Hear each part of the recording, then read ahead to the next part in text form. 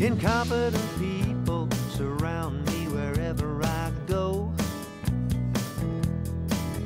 And I wish it wasn't out of line to tell them so. The waiter never seems to get my order right. Seems like I got to complain almost every night. Uh, how much longer can I take this abuse? I try to be nice, but what's the use? When I'm the only one that does anything right. Sometimes it seems like the world is run by chimpanzees. Even though some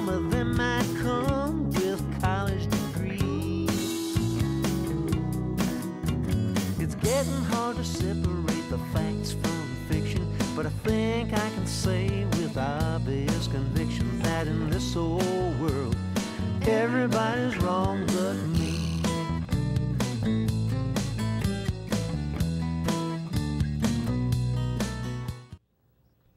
Welcome to Uncommon Sense. My name is Charlotte Laws, and today we're going to be discussing the economy primarily, gas prices, the real estate market, the Pickens plan, but we're also going to talk about what city has the prettiest women and which country has the happiest people.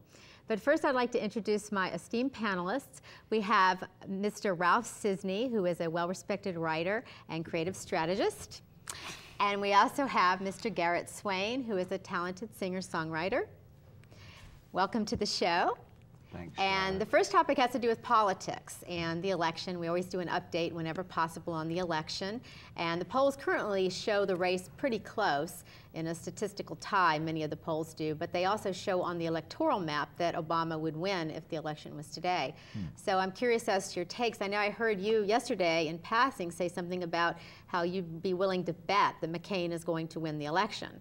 Well, I think on one of these shows, like back in January, I said there was no way McCain was going to get the nom nomination. So I was wrong on that. So I could be wrong on this.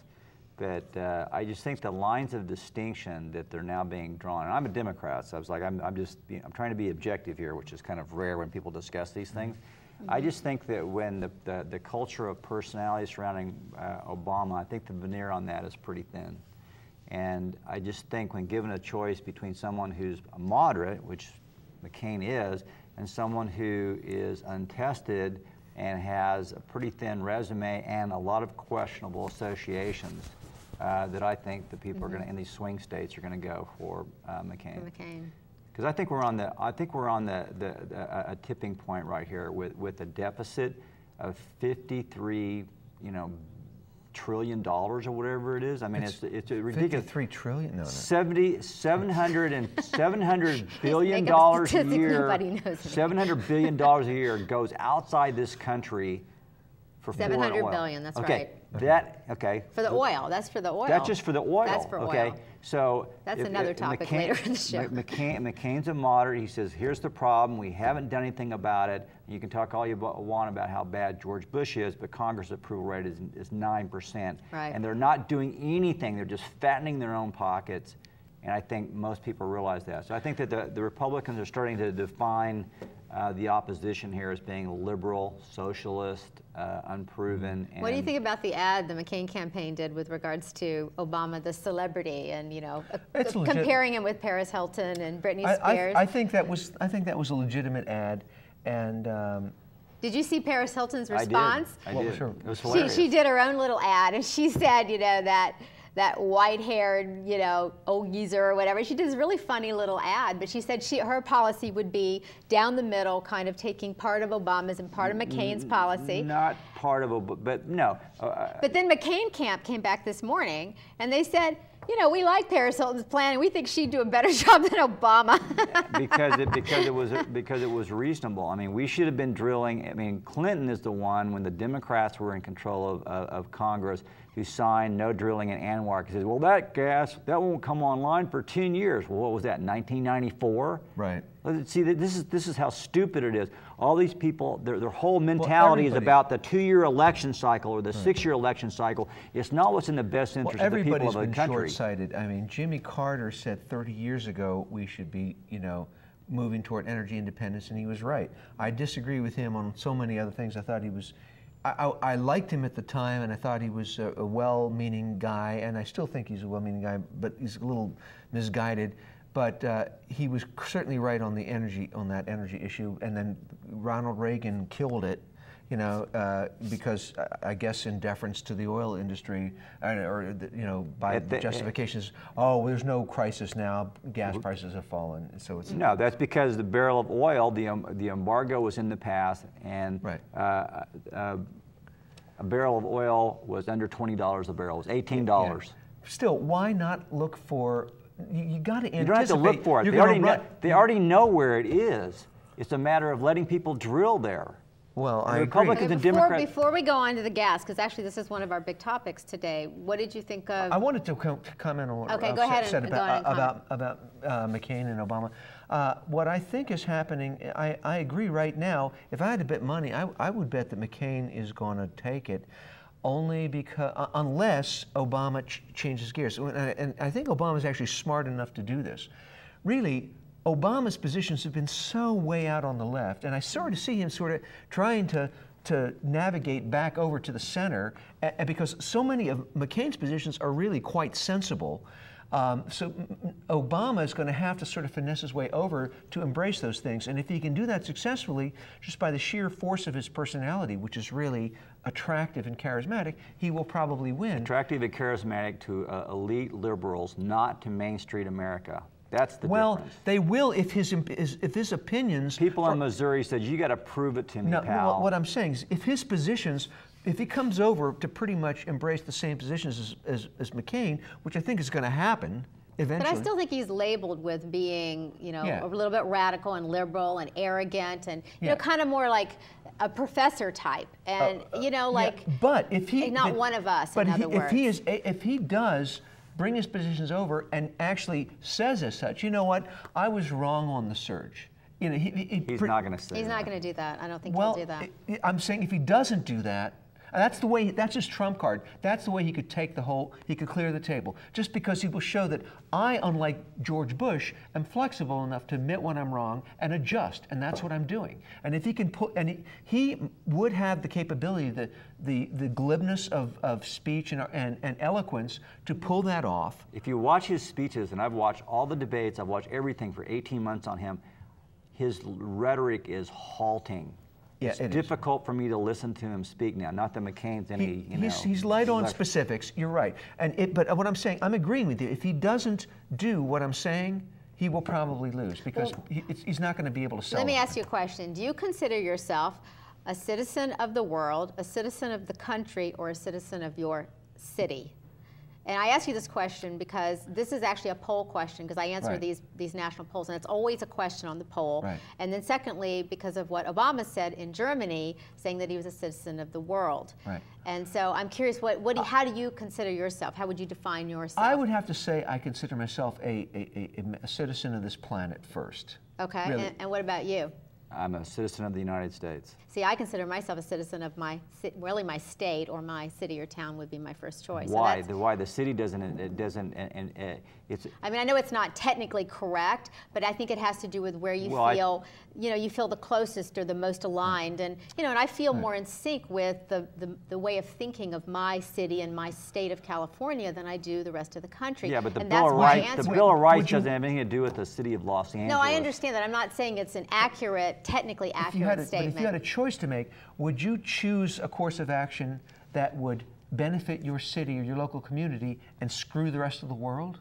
No, I mean, I, I wouldn't. I wouldn't do that. And if you're running for president, you obviously would want to do something that was in the interest of the United States, probably yeah, primarily, because that's your job duty. You me, know. But I think it's in the interest of the United States to align our interests with the interests of the world. If we if we do anything, if we perpetrate any actions that really advances us and screws the rest of the world, we're ultimately screwing well, ourselves. Well, I think the reason that question is asked on the polls is because they think that Democrats or liberals are going to say, I'm a citizen of the world, and Republicans are going to say I'm a citizen of the United States. And I think Well, that's why that question is But, but, asked but to I, see. but, but I, I, I don't think where that's a party align. line question. I, I mean, I'm a Democrat, although I, I know, I didn't say am, maybe it's I am, not. I am the absolute opposite of socialism, though. I Mm-hmm. do not agree with it. I do not agree with censorship. I do not agree with this creeping fascism where people can wiretap your phones without a warrant. Why are you a Democrat?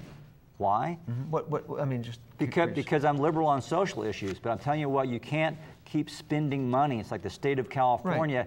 The, the revenues are up 40%, but they're spending more than it's coming in. It's ridiculous. Yeah, right. Well, I Yeah. agree with you. Well, I what- think you're more a libertarian than a Democrat. I would agree. So why don't we take a break for a few minutes and then we'll come back and we'll move on to the gas. So we'll be back in just a few minutes.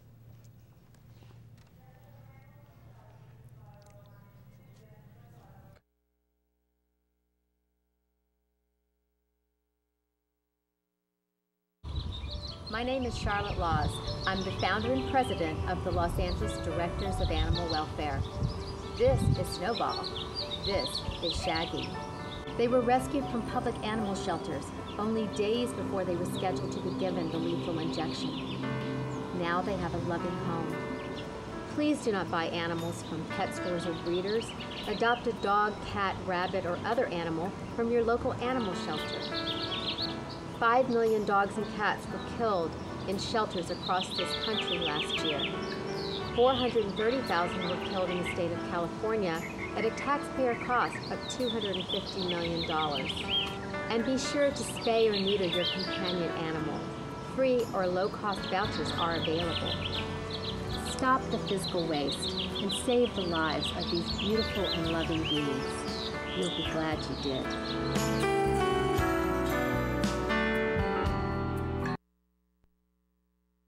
And the next topic is has to do with the economy, and that's we have a lot of topics on that particular Ah, yes. subject.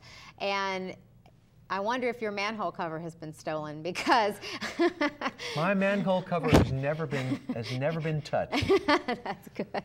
Well, Philadelphia has experienced in the past year 2,500 manhole covers have been stolen and taken to scrap facilities for the scrap metal because metal prices have gone up. Um, a lot of it has to do with China and the you know the, the rising prices of, of scrap metal. And they used to, to have about 100 a year stolen. And there are various cities in the country that are having huge issues with this. It can cost $500 for a municipality to replace a manhole cover, but you get five or ten dollars when you take it into a scrap They're yard. hundred- weigh hundreds of pounds. They're very heavy. I know. It's it's Yeah. amazing. People can. You know, obviously, it's probably more than one person stealing them. So, one Yeah, of they those take things 'em in. cost 500 bucks. yeah, to replace. And and we've had a lot stolen from Long Beach. That's one of the cities Why doesn't that. the city go to the scrap yards and buy them used? Well, that would be a smart idea. That's probably too smart for our city's officials. they put them in the scrap heap and then melt them down. The scrapyard. Well, they've the um, most of the officials have gone to the scrapyards and said to them, "Please don't take anything that's city property." And so what they're doing is the criminals are blowtorching off the seal. But you would think that a scrapyard would say, "Gee, looks like a manhole cover. I doubt it belongs anywhere except to the Some city." people, some people are taking ex- recycling to the They extreme. could be private manhole That's right. covers. we want recycling, but not that kind of One recycling. manhole cover. I mean, I, I can't believe they're only getting a couple of dollars for that. No, I know. It's it's Because crazy. they can get more more than that out of my recycling bin after a poker game. So the gas prices is something you guys were interested in talking about before, and um, we obviously have two different proposals with regards to energy. One from McCain. We don't really have a proposal from Obama that's too concrete, as far as I can tell. But Well, I think his proposal is we're, the solution is in the lab now, and if we fund it, if We'll toss it. enough money at it, um, it will save us all. Right. I, th- I mean, you know, that's. But what do you think of what do you think of offshore drilling? What do you think of the nuclear sites? This, you know, some of the proposals. McCain wants 45 nuclear We really don't have a choice. This country is at a, is at a crossroads. We either have to do everything or we can forget about it. Yeah, or nothing. I mean, uh, or, or, or just. Other companies, uh, countries in Europe, like France, is like I think 80% of their electricity 80 is is, is, nuclear. is nuclear. Yeah. Well, there, you know, it's funny because I read like, an article. They aren't environmentally sensitive over there. Come on. I don't know. I read an article that actually there are more problems with the facilities than are normally publicized, and I don't know if that's true or not. Well, you have problems with wind turbines. That's just the way things work. So you fix the problems, you deal with it. Well, the thing is, all the objections that were raised to nuclear technology technology are from 25 years ago, from Three Mile Island and Chernobyl. When those accidents happened, everybody was, oh gosh, we've got to outlaw this thing. The technology has gotten 100 times better since then. The safeguards are 100 times better. And Ralph is, is right. And so is. Would you want to live near one? I don't care. I wouldn't have You a wouldn't. problem. Pro- I wouldn't want to live near Have one. you ever have you ever gone to the beach at San Onofre? yeah. No. It's you know it's fine. I mean you know there, there are The water is very the, warm. the chance look Yeah, you, you have sure a much you have a much higher chance of you know dying in a In a car bathtub. accident dying in a car accident than you have of, of there ever being a, a nuclear catastrophe like that. Mm-hmm. You know I mean the, the fact of the matter is we have to do something. Well, you know, I actually think. I mean, I, I know gas prices have come down a little bit in the last week or two, but It's a I. manipulation. But I actually think that this is like a really positive thing because this is the first time that I've heard everybody in the country on the same page with we've got to do something environmental. You're We right. got to look at solar and wind and you know all these the- but the- alternatives but and I think it's fabulous that we're Yeah, talking about it. I had a friend in the mid 80s who actually had a, a solar energy business where he was like going in doing a, an evaluation, put in insulated windows and solar panels, and people just wouldn't pay the price for it. Mm-hmm. Because They it will wasn't a- now. It wasn't a city. Well, but I'm just saying that he was on on, on the leading edge of that. Uh, but in order for those solar panels for the price to come down, you have to have economies of scale. But, Right. you know, most people are talking about public policy, just don't quite understand the, the, the market forces that are that are that are involved. Every municipal building that is built now should be built with solar Well, panels. no, I think it, I think and, they and are you will green see the buildings economy. now. You will yeah. See the economy of scale ramping up. Um, and I, I I agree with McCain. Uh, I mean, what, what, I- what I see here, McCain saying is, look, let's just do everything. You know, okay, if Mm-hmm. All we if, if above we drill strategy. offshore, it's not going to be online for another 10 years. That's not But- true. What? That, that is a total. I've heard I've heard three true? years is what I've Nancy heard. Pelosi and the rest of them Nancy are going, blowing an idiot. gas, blowing gas about all this stuff. That's not true.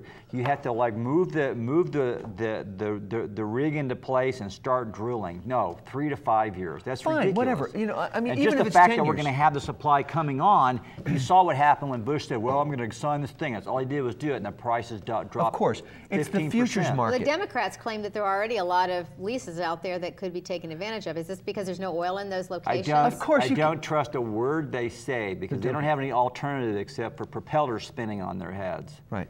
Well, I mean, the thing is, if there are oil leases that the that the oil companies are not using, it is because there's no oil there. Right. You know why? You know, i- i- you know, like why don't you drill there? Because we would if there was oil there. You idiot.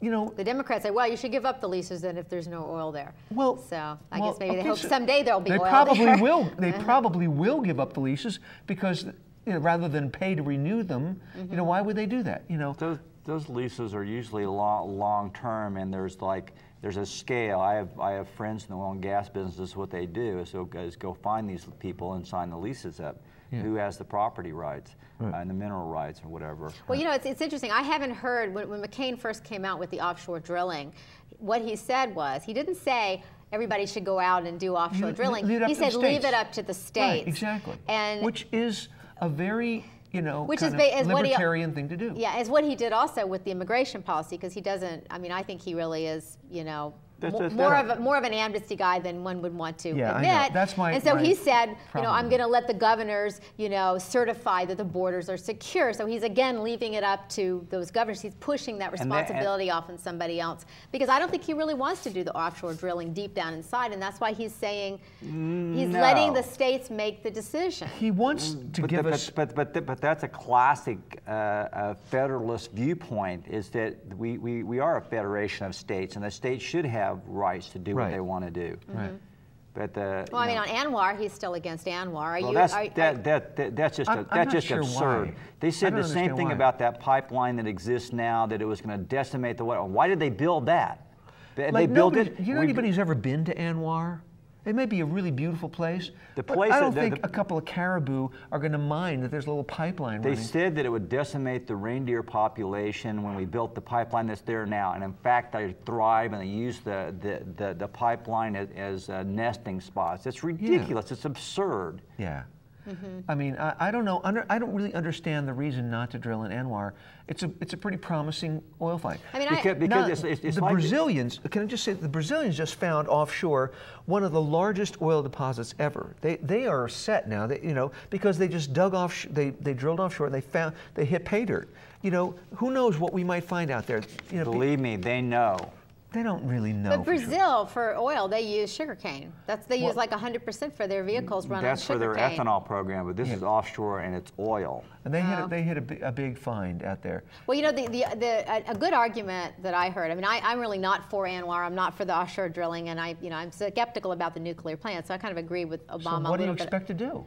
I want alternatives to, I mean, I, Well, I they've want been to saying that see, for 30 McCain years. wants that too, but you know, who knows what? but I think now they really are going to do something because I think they see this as a, Only if they a get- serious all get problem. paid off. But the only reason I can say that it would be, would make sense to me for us to be doing the drilling and doing things here in this country is, is the fact that we are probably going to be more careful with the environment than some other countries somewhere else that we would be getting oil from or getting some sort Well, of Well, an oil field is a, is, a, is a messy business. If you go look at those refineries in Saudi Arabia and in the Gulf, it's like, no, we're all fine for driving our, our, our limousines over here uh, on our way to our you know cheese and chablis parties, but let, let them have the environmental disaster. We don't want it in our backyard, and that's what's so hypocritical about the whole you know leftist environmentalist policy. Uh, Well, I mean, I don't know if it has to do with the backyard. I think it just has to do with protecting the environment. But as I said, maybe we would protect the environment environment, more doing issue. it here where we're going to be more careful Right. than letting some other country where we don't know if they have controls but, the, over. but, but the environment is a, gl- a global issue. Environmental when, controls. When, when, when Bush got elected, he said he was talking clean coal, clean coal. Well, when, when Clinton and Gore got elected, they were talking about environment, environment. And you know what? Gore didn't do squat on the environment until after he uh, lost the, the, pr- the presidential uh, uh, race. So, like, you know, What about clean coal? What's wrong with clean coal? nothing, but they have to do something about it. Who has to do what about it? Well, they, they've been talking about We gotta allow developing, developing the technology. They don't want any new coal plants. We have more coal than all of the oil in the right, whole right. Middle We're the East. Saudi Arabia of coal. And if we can figure out ways to clean it, then that you know, all this could be done. It should be done. But in, in the environmental lobby is is hysterical, and and they're we're just leading us right off of a cliff. I don't, I, mean, don't see need- it happening in California. You but don't see the- what happening? Having the offshore drilling, but I, there is a recent poll that says that 51% of Wh- wh- How how do those leases are out there right now? yeah, but I don't see an additional. I don't see anything additional happening. I mean, Why not? because because of because of the state and the sentiment of the state. Although there is a poll that says 51% of the people currently In California. do support the offshore drilling, which has changed drastically from Right. three years ago. But you know, of course, most of our leadership is Democrat, and there's you know big environmental Fine, they can lobbies bur- here. build more nuclear power plants and uh, they can generate electricity See, for our plug-in aside from the nuclear power plants, we need to run our cars. I mean, as well. Uh, it's, everything has to. The thing is, there should be nothing off the table. There should be nothing off the table, and what do you think of the Pickens plan? I think it's a good idea. I think it's T-Bone brilliant. Boone but the Democrats immediately came out and said, well, he's not for offshore. I said, absolutely not. I did not say that. I listened to him speak for an hour on C-SPAN on this. And all the way from, from uh, uh, West Texas all the way up to the Canadian border, they did a, map, they did a wind, wind mapping of the whole United States. And they said that corridor is like windy. perfect for uh, wind farms. And he said it revitalizes small communities. It's like there's this one small they're kind of ugly, though, aren't they? I think they're beautiful. Well, may, okay, I'll, okay. Well, I'll take your word for it then. Maybe mean- so. It's it's how you define the. You But the go thing to is, the we plains need of them. Spain, you see those windmills, and you go, "Oh man," you know. Yeah, it's couldn't they make them more attractive, like more like Dutch windmills? you, you could if you had one in your backyard. What about the times when the wind is not blowing? You obviously have the wind to have. blows all the time?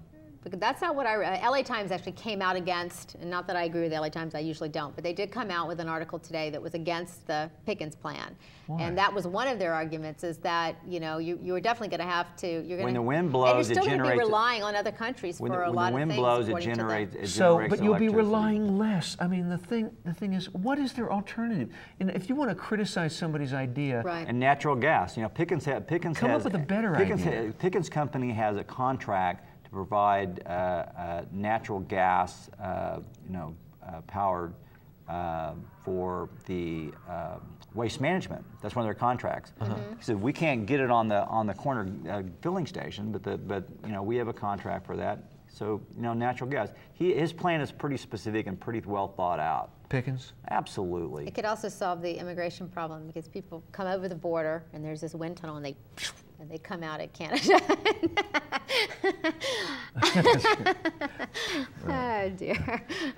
Tim, T-Bone Pickens. But he's spending like 58 What's- million what's his- Good for him. And that's, you know what, that, that's, now, what's that's, his real What's his real name? I'm kind of curious. It's T Boone. It's not T Oh, Bone. oh, oh, right, I think there's a musician named T Bone. Uh, T-Bone. It's T-Bone Burnett. Uh, he's, uh, T-Boone. uh, I think he's doing. Instead A, I think he's doing a T-Boone. great service for his country, and it's amazing Yeah. that the Democrats. Well, he's doing it for his well, own. there are actually environmentalists that are, Are you serious? him. The guy's like, you know, he's, he's Yeah. up there with. Uh, He's a very wealthy guy, but he doesn't have much longer to live. Okay, he's so doing this for the. This is for- complete altruism, you think? No, no, he's gonna he's gonna benefit from this, and he's actually building right now in Texas. They're building some farms. They're, they're building they're- like huge wind farms, six six billion he's to doing it ten to make billion money, dollars and- spending. but he's I- trying to make money too, but I don't think that's his entire motivation personally. Absolutely not. When you reach his age, you reach an age where, yeah, I'm making money and my family and all that, but I want to do something right for, for the country. And you know, what? for someone to step forward and take a leadership role, which we haven't had on, on this debate for, I don't know, 20 years, good for him. Can I just ask you guys, what do you think George Bush thinks of himself? I mean, I- I- what, an- you know, d- It's kind of like, who cares? I well, know he's surrounded by people who praise him, and you know, any think person so? who's in the limelight, He's gotta even ma- if they're not popular publicly, they're surrounded by people who you're Who so wonderful, You're you're so smart. You I- meant I- well, George. I mean, Uh, no, but- they're but not even going to say that. They're going to say, "You're brilliant, George. We love you," and that's what they're going to be really surrounded think he- by. I no, I think that's I- true of anybody I- who's I not don't- popular in the in the public. I think they're going to be surrounded by people. There, there, there are organizations where uh, uh, lively discussion is encouraged, and then there are organizations where you do what you're told. Right. And I think his organization is you do what you're told.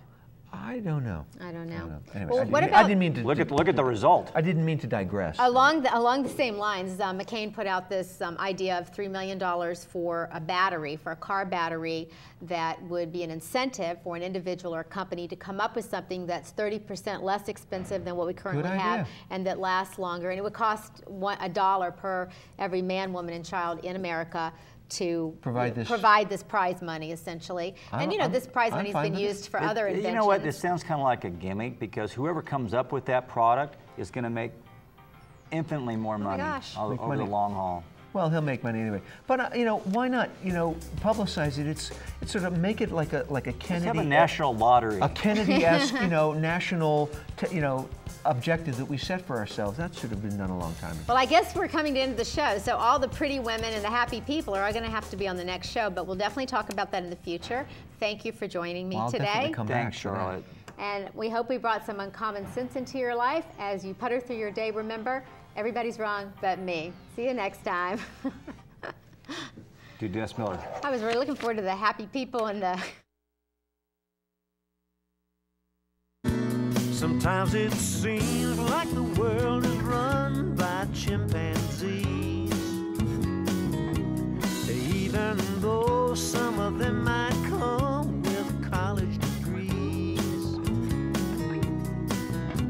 It's getting hard to separate the facts from fiction, but I think I can say with obvious conviction that in this old world, everybody's wrong but me. Everybody's wrong to disagree with me. That really chaps my eye.